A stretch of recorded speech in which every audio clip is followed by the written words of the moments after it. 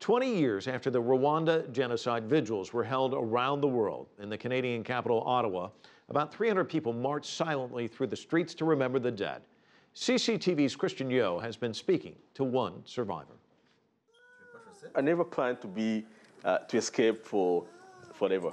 I say, let me escape today. Probably uh, I'll die tomorrow, and uh, uh and that's what we were doing. Cause you couldn't know what's going to happen even in a few hours. Alain Nawali was 10 years old when Hutu militia invaded his home in the Rwandan capital, Kigali, on April the 8th, 1994. That's my dad. His father was a prominent businessman and an ethnic Tutsi.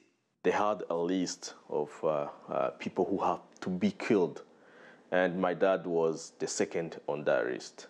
So we could hear from the radio uh, the name of my dad uh, to be, he have to be killed. With the city on lockdown, Tutsis were sitting ducks, awaiting slaughter. Alain remembers that terrifying wait and the moment militia attacked his home. When the defense was about to fall down, my dad told us, uh, my brothers and I, say, uh, run. The last word he said, it's uh, uh be, be a good man. Uh, be a good man. Alain and his brothers escaped and spent the following days fleeing from house to house. Nowhere was safe for long. The United Nations set up guarded shelters, but after 10 Belgian soldiers were killed, they withdrew, leaving the Tutsis exposed. It was tough for them at that time, but they had chance to save more people if they could stay uh, even for a month. Rwanda may now be on the path to stability, but Alain warns that events unfolding to the south in neighboring Burundi are all too familiar. I saw some uh, report in UN saying that in Burundi, uh, the government are giving weapon to uh, Hutu militia.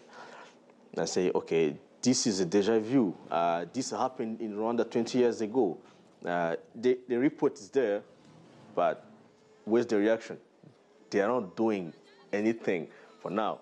Just reading report and report.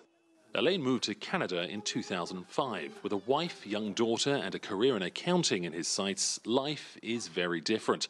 He hopes his father would be proud. But making sense of his past is an ongoing struggle, and the gravity of what happened in Rwanda weighs heavier with time.